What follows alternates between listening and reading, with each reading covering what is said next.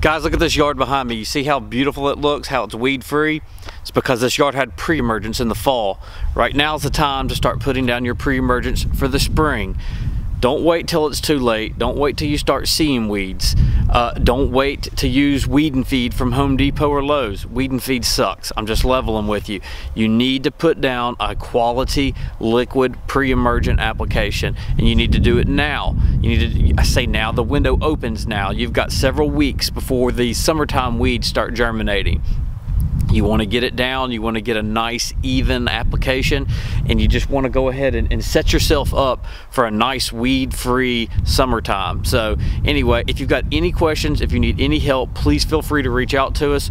We'll make any suggestions possible. We can get you an estimate if that's what you need just whatever. But start thinking about it. Now's the time for pre-emergence. Now's the time to start being proactive. You want to go ahead and just get ahead of the game. You got to take steps now for your yard to see the benefits for the next four to six months. So anyway, that's all I'm gonna say. Weed and feed sucks. Start acting now. Don't wait till it's too late. Don't be reactive. Let's be proactive. Thank you. Y'all have a good day.